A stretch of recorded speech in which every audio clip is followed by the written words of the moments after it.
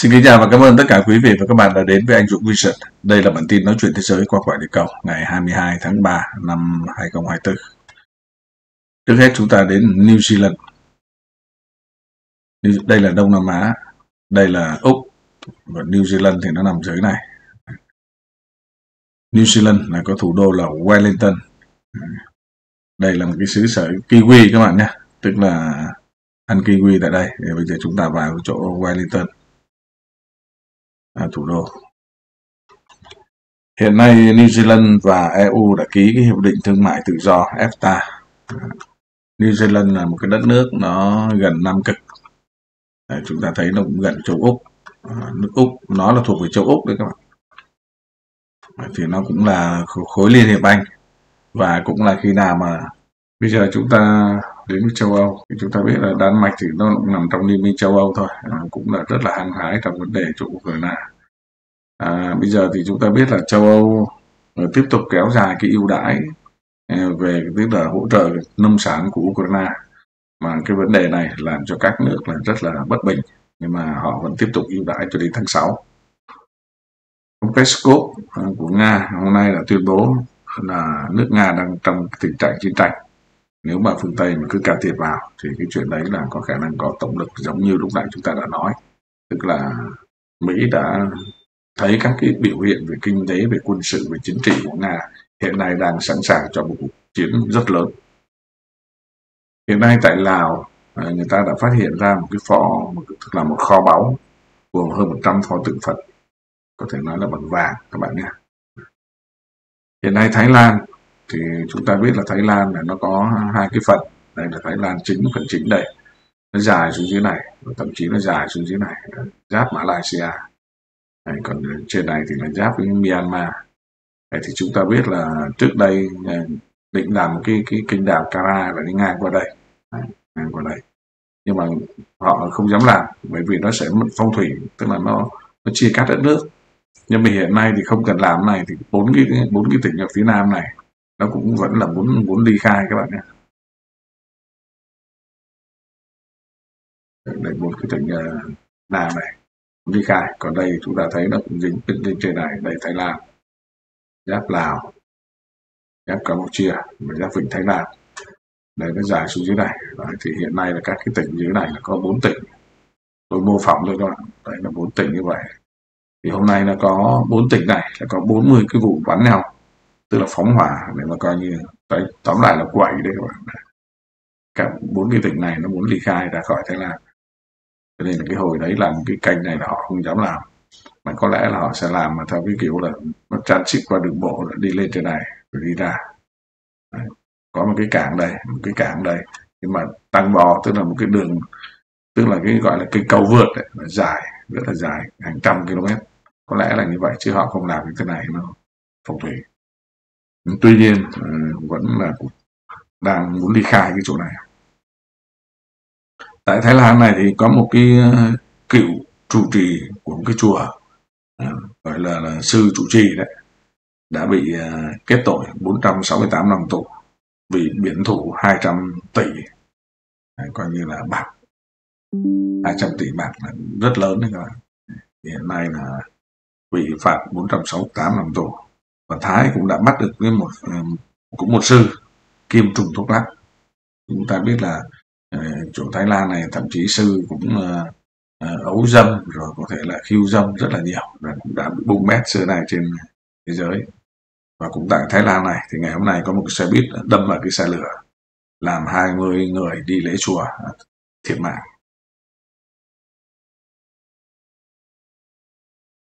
Hiện nay tại Trung Quốc thì chúng ta biết là có một đặc phái viên của Trung Quốc đã từng qua Nga và qua Ukraine để mà vận động hòa bình, đàm phán. Và anh chàng này anh nói rằng anh không chọn phe trong cái xung đột này. Thế thì cũng nghe rất là thấy buồn cười, tức là anh nói là coi như là à, anh ủng hộ không ủng hộ ai hết, à, tức là không chọn phe. À, thì trong khi đó thì các cái hai nhà lãnh đạo thì nói nghe rất là hay, bảo là hiện nay Nga và Trung Quốc chỉ làm chứ không có nói thế là nói như vậy có nghĩa rằng là nói thì cứ nói mà làm cứ làm chăng và hiện nay Trung Quốc cũng đã thẳng thừng bác bỏ cái sẽ tham dự cái hội nghị thượng đỉnh về hòa bình tại Thụy Sĩ do khởi xướng ờ, công thức hòa bình của ông Zelensky mà không có Nga. Cho nên Trung Quốc hiện nay đã bác bỏ chuyện này không sẽ không đi học Ukraine hiện nay cũng đang bắt chước Mỹ à, tỏ ra là mình là cũng là hiến binh cũng là cảnh sát tuyết còi. 50 công ty lớn của thế giới có hiện tượng là ban với Nga trong đó có rất nhiều công ty của Pháp của Áo của Hungary của Trung Quốc và nhiều nước khác thì hiện nay các nước này nó súng vào nó chửi các bạn nha chửi. Mày mất dạy. Mày chúng ta cho nuôi ăn mày không hết rồi bây giờ bắt đầu là là bắt đầu mày cấm vận rồi nọ nọ kia. Rất là ghê gớm các bạn nha cho nên các bạn bảo cái, cái, cái chính quyền này nó ghê gớm lắm chứ nó không phải là nó bình thường đâu. Hiện nay thì có năm nước Ả Rập à, đang à, đề nghị coi như chấm dứt ngay ừ, xung đột tại Gaza. À, đó là năm nước một là Ai Cập hai là Jordani ba là Ả Rập Xê Út bốn là Qatar và năm là um, quốc vụ khanh. Quốc vụ khanh giống như là phụ trách đối ngoại của chính phủ đấy. À, UAE là năm. Đấy thì à, như chúng ta biết là ông à, Blinken là ông bây giờ ông đang bay qua Israel rồi ông bay qua khắp nơi qua kể cả Trung Quốc rồi kể cả Hàn Quốc rồi Nhật Bản nữa. Anh bay về đây sứ mạng ngoại giao. Nhưng mỗi lần mà anh này anh đến đây thì chúng ta biết là, là đánh nhau lại to thế lần này không biết là đánh to kiểu gì. Thì chúng ta biết rằng là hôm nay Nga và Trung Quốc cũng bác cái nghị quyết của Mỹ đưa lên Liên hiệp Quốc là đề nghị ngừng bắn ở đây nhưng mà lại không có cái câu ngừng bắn. Đấy, hoặc là ngừng bắn ngay lập tức mà nói nói chung chung cho nên Nga với Trung Quốc bác. Mà chúng ta biết trước đây Nga cũng đưa cái quyết định nước quốc về chỗ Gaza này Mỹ bác. Trung Quốc đưa lên Mỹ cũng bác. Bây giờ Mỹ đưa lên thì Trung Quốc và Nga bác bởi vì không có một cái câu từ nào nói về chấm dứt ừ, xung đột tại đây. Và chúng ta biết là cho dù có rạn nứt giữa Israel và Mỹ trong cái quan điểm là chấm dứt hay là không chấm dứt, ngay hay là không ngay tại Gaza, nhưng mà Israel của Netanyahu là sẽ quyết tâm, sẽ đánh vào giải, tức là vào cái Rafah, tức là gần như nó là một cái xào huyệt. Theo theo quan điểm của Israel là xào huyệt cuối cùng của Hamas mà nếu mà đánh vào đây thì có thể là đánh vào mặt của tất cả các nước trên thế giới kể cả Mỹ. Mỹ cũng nói là đây là làn ranh nhỏ nếu mà đánh vào đây là không được. Giống như là tội ác chiến tranh hiện nay tất cả dân nó đang dồn về đây hết. Thì uh, hiện nay là Israel cũng thách thức và nói là sẽ sẵn sàng tấn công. Hôm nay Liên Hợp Quốc cũng thông qua một cái nghị quyết về AI tức là IA đấy các bạn tức là về trí tuệ nhân tạo về vấn đề bảo vệ tôn trọng và phát triển nhân quyền trong cái việc sử dụng uh, trí tuệ nhân tạo. Tức là lần đầu tiên có một cái nghị quyết về cái vấn đề này.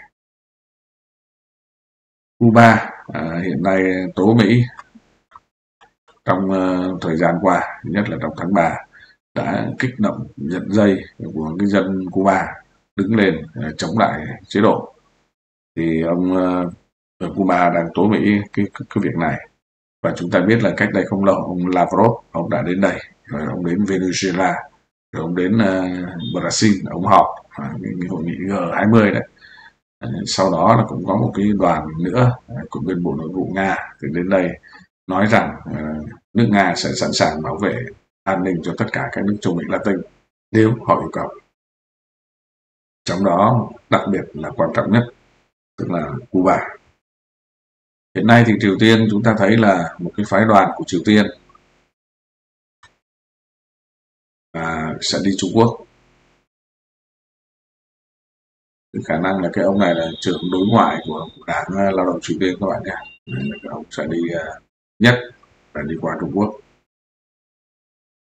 Thứ hai là sẽ đi qua trọng thứ hai là qua việt nam. Và chặng thứ ba là ông sẽ đi qua lào. Hiện nay có ba cái chặng này thì không biết là bắt đầu cái, cái, cái, chuyện gì đây? Ba nước các bạn nhé. Bắc Kinh, Hà Nội và Viên Chăn chắc là cũng bắt đầu mở cửa gì đây rồi. Hiện nay thì Niger Niger là có hai nước Niger và Nigeria chúng ta dễ bị nhầm. Đây là Nigeria. Nigeria. Đây là Niger cả hai nước. Niger vừa rồi đuổi Pháp đấy hiện nay Niger là có sự tấn công của khủng bố ở phía đông bắc đất nước làm 23 binh sĩ thiệt mạng. Ở ý ý là, là ngay trên ở Nam Âu này trên châu Phi rồi ý hôm nay có một cái sự kiện tức là cái xe đổ rác là mang rác trả lại cái người đổ. Tức là người đổ người ta sai quy định các bạn và người ta đổ tận nhà sau khi kêu chủ nhà ra nhận đúng bởi vì người ta à, người ta biết mà. Người ta quay phim người quay camera người ta biết. Và phạt chủ nhà này là 10.000 euro tức là khoảng gần 11.000 đô la Mỹ. Nhiều nước ở thế giới đã sẵn sàng uh, chấp nhận công nhận một nhà nước Palestine nếu mà nhà nước này độc lập. Trong đó gồm có Tây Ban Nha gồm có Ireland gồm có Slovenia. Slovenia thì chúng ta biết là nó nằm đây này. Slovenia và Malta. À, Malta là quốc gia rất là nhỏ, ngay địa Trung Hải. Có rất nhiều nước là muốn công nhận ngay, nhưng mà hiện nay chỉ tất cả thế giới, kể cả Mỹ, cũng yêu cầu là thành lập nhà nước Palestine bên cạnh Israel. Nhưng mà hiện nay chỉ còn duy nhất một nước Israel là không chấp nhận chuyện này trong khi đó, các nước khác là sẵn sàng công nhận và đặt quan hệ ngoại giao với Palestine. Hiện nay tại Haiti thì chúng ta biết là tình hình đang hỗn loạn. Thủ tướng thì không dám về và đã từ chức. Rồi Mỹ đã đổ 300 triệu vào đây để vãn hồi an ninh trật tự. Và tình hình cũng chưa kiểm soát được. Và hôm nay thì tất cả đại sứ ờ, của các nước và nhân viên sứ quán của các nước EU đã rút khỏi Haiti này. Gần Cuba còn. Đây nó gọi là vùng Caribe Trung Mỹ Caribe.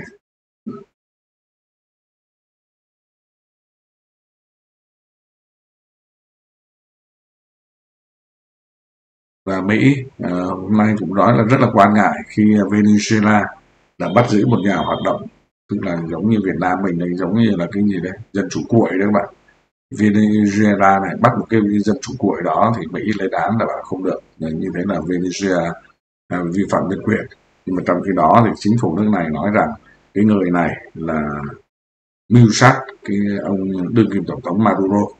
Cho nên là họ có quyền họ bắt. Và đây là công việc nội bộ của Venezuela. Thì anh Mỹ không có quyền anh anh nói vào. Bây giờ chúng tôi ai cũng giống như Mỹ. Mỹ thì có nó nói là cái Nga Nga thế đối lập mà coi Nga bắt đối lập cái thì, thì Mỹ cũng la toán lên. Thì đối lập là toàn để dựng lên thì nó giống Zelensky ngay.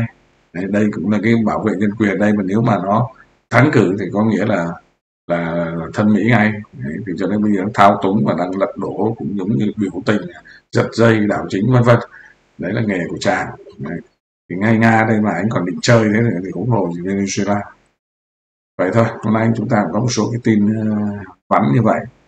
Và cái phần thứ hai là sau sau cái phần mà chúng ta nói 24 giờ qua của thế giới phần thứ hai chúng ta sẽ nói về một cái sự kiện hoặc là một cái di sản hoặc là một cái ờ, như hôm qua chúng ta nói về cái cây cổ cây cổ và cây cây to cây lớn đấy các bạn nhé, khổng lồ thì hôm nay chúng ta lại không nói về các vấn đề đó, mà hôm nay chúng ta nói về Hà Lan.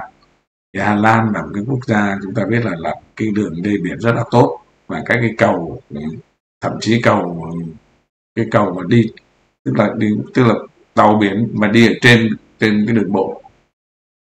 Các quý vị hiểu không có một số bạn thì đã biết cái cái này rồi mà hôm nay các bạn nào chưa biết thì chúng ta xem lại tức là tàu thủy thì đi trên còn đường bộ thì đi dưới để chúng ta sẽ xem một cái, cái cầu rất là độc đáo của Hà Lan và chúc các bạn ngủ ngon sau khi xong xong cái đoạn 2 của video này. Xin chào tất cả quý vị và các bạn. Như chúng ta thường thấy tất cả các cây cầu thường bắc qua sông, hồ, biển hoặc là eo biển. Có nghĩa là các phương tiện đi qua cầu đều phải đi phía trên và phía dưới là nước. Nhưng ở đây có một cây cầu rất là đặc biệt. Đó là cây cầu bằng nước dùng cho tàu thuyền qua lại bên trên, còn bên dưới là đường xe hơi, tức là đường bộ độc đáo không phải quý vị và bây giờ quý vị và các bạn hãy xem video Mở cửa từ năm 2002, Veluwemer Group là một công trình kiến trúc và kỹ thuật tuyệt vời. Đường dẫn nước này có chiều dài 25m và rộng 19m nằm ở Harderwijk, ở miền đông của Hà Lan. Trong quá trình thiết kế lối đi độc đáo này, các kỹ sư đã chọn xây dựng đường dẫn ống nước qua đường N302 là nơi có 28.000 phương tiện qua lại mỗi ngày.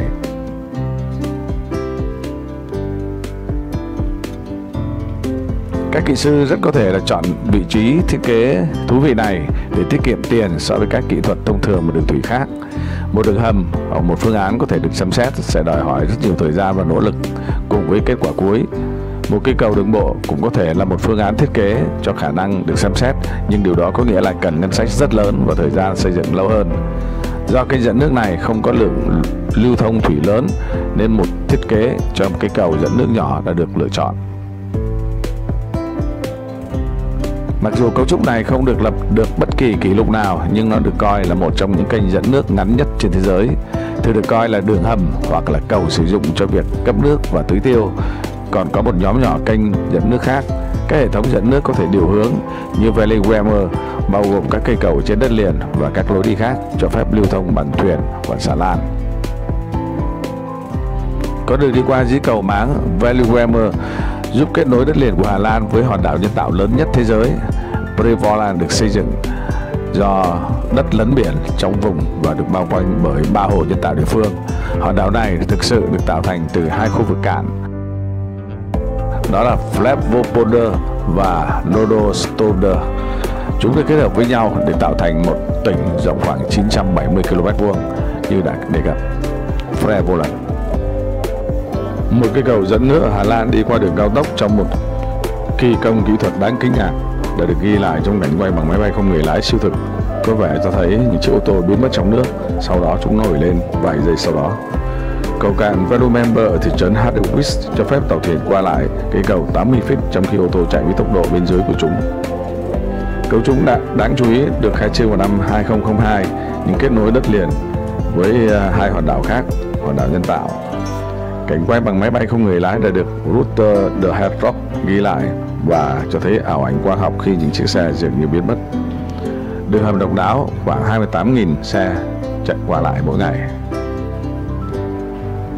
Cầu máng được tạo thành từ 22.000 mét khối bê tông để hỗ trợ cho trọng lượng của nước và tàu thuyền bên trên đường ô tô bên dưới.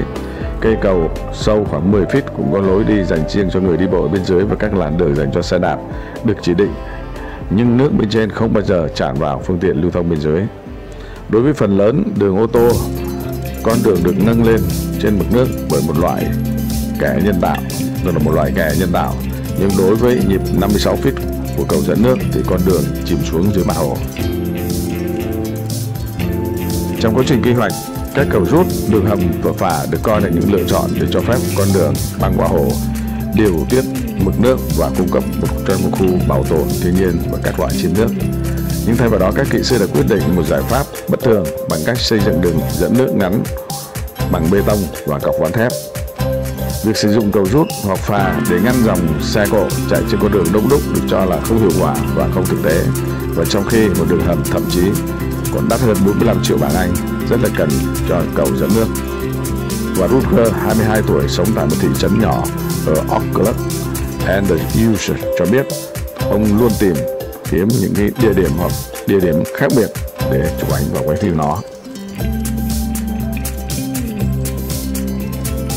Tôi muốn thực hiện một bức ảnh Hà Lan điển hình và bức ảnh này thực sự là Hà Lan vì nó cho thấy chúng ta đang sống chung với nước, xung quanh như thế nào. Có một nhiếp ảnh gia đã xem qua bức ảnh của cầu dẫn nước này và ngay lập tức nghĩ rằng nó sẽ trông tuyệt vời như thế nào từ bầu trời và phải khá mất nhiều thời gian để định thời gian và lên khung các bức ảnh một cách hoàn hảo. Anh cho biết là một trong những người đầu tiên Hà Lan chụp được cây cầu máng này bằng máy bay không người lái và kể từ đó nó trở thành một điểm nóng và máy bay không có người lái thực sự. Anh rất thích tìm kiếm những địa điểm đặc biệt và độc đáo. Cầu cạn ở được tổ chức rất nhiều nó tốn khoảng 45 triệu bảng để lắp dựng và được cho là hấp dẫn hơn cả về mặt hình ảnh và tài chính so với một cây cầu kéo hoặc là bến phà tiêu chuẩn. Những đường hầm dưới nước và những cây cầu trên cao cũng được xem xét. Nhưng đâu là niềm vui của những thứ đó? Tất cả các ý tưởng nói trên cũng được coi là quá cản trở, cảnh quan hiện có cần được duy trì. Vì vậy, do N302 là một đường cao tốc lớn, các nhà quy hoạch đã phải cải tạo một cách nghiêm túc trong nỗ lực tạo điều kiện thuận lợi cho dòng giao thông liên tục, tắc nghẽn phải được tránh bằng mọi giá. Và công việc được bắt đầu và từ năm 1998 và hoàn thành trong vòng 4 năm sau. Theo phản ánh, đó là một bước ngoặt khá vượt trội so với quy mô và tham vọng của dự án. Bản thân hồ Vancouver là một trong 14 hồ lân cận được sinh ra từ sự tách biệt của Flevoland và Đông Bắc Border và Hà Lan. Flevoland nổi tiếng vì được xây dựng từ vùng đất khai hoang. Nó được bao bọc bởi ba hồ nhân tạo và gồm những phần thoát nước, đó là Flevopolder và Nodopolder. Đây là tỉnh trẻ thứ 12 trong khu vực và có diện tích là 970 km vuông. Hệ thống dẫn nước địa phương của nó trong khi phần nào trở thành một điểm du lịch cũng giữ danh hiệu là ống dẫn nước ngắn nhất ở bất kỳ đâu trên thế giới chỉ dài 25m và rộng 19m và cấu tạo của nó chủ yếu dựa vào cọc thép neo được đề cập ở trên và giúp giữ lại trầm tích từ trong lòng đường, cho phép nó tự chui xuống dưới dòng nước. Trong khi các vật liệu tương ứng được sử dụng trong việc lắp đặt quan tài cho các dự án xây dựng dưới nước, nhưng trong trường hợp này, sự hiện diện của nó là vĩnh viễn. Một câu hỏi phổ biến và hay đối mặt với nó là làm thế nào để cây cầu giữ nước giữ được trọng lượng bổ sung của những chiếc thuyền đi qua. Đây là kết quả của một nguyên tắc được gọi là Archimedes, định luật Archimedes. Tóm lại, nó nhìn thấy một vật nổi di chuyển trên một thể tích nước có trọng lượng tương đương. Bởi vì cầu mở kết thúc, điều này làm cho nước bị đẩy ra ngoài, duy trì tình trạng trạng thái cân bằng. Không phải hàng ngày bạn nhìn thấy một con đường, một con kênh sâu 10 feet và cảnh tượng nước nổi trên một con đường hai chiều cần một số người làm quen và điều này hoàn toàn ngược lại. Vâng, cũng như tôi, chắc chắn quý vị và các bạn cũng cảm thấy rất là thích thú cũng như là hấp dẫn với cái cầu rất là độc đáo này của Hà Lan. Nó nói lên về cái tầm nhìn cũng như là sức mạnh của con người đều có thể tạo ra những cái kỳ công, kỳ quan của thế giới. Nếu các bạn thấy cái video hay thì xin cho video được một like và một nút đăng ký cũng như bấm chuông để quý vị có thể tiếp tục theo dõi các video tiếp theo với những cây cầu và những cái công trình kiến trúc khác của thế giới và của Việt Nam. Xin trân trọng cảm ơn. Hẹn gặp lại.